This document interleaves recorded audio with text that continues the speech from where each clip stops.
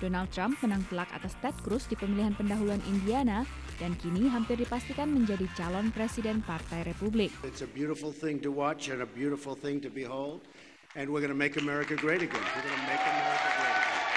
Menyusul kekalahannya di Indiana, Ted Cruz menyatakan mundur dari persaingan menuju nominasi Partai Republik. We gave it everything we've got. But the voters chose another path. Demikian pula dengan Gubernur Ohio John Kasich yang juga menyatakan mundur. Sementara di kubu Demokrat, Bernie Sanders menang tipis atas kandidat unggulan Hillary Clinton. Millions of people today are beginning to stand up and fight back and demand a government which represents all of us, not just a handful of billionaires. Namun kemenangan ini tidak mengubah kenyataan bahwa Hillary Clinton unggul jauh dalam hal perolehan suara delegasi. Dengan hasil seperti ini, hampir dapat dipastikan Hillary Clinton dan Donald Trump yang akan menjadi calon dari masing-masing partai dan maju di konvensi bulan Juli mendatang.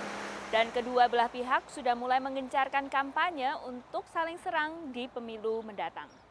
Jajak pendapat menunjukkan dalam Pilpres November mendatang, Hillary Clinton unggul dibanding Donald Trump. Namun, analis menilai watak Donald Trump yang sulit ditebak bisa mengubah segalanya. But Donald Trump, both as a, as a personality, is a hard person to run against, and he potentially has this appeal that is across party. And those are the two strengths that he might have to draw on if he is going to make this race closer than it looks now.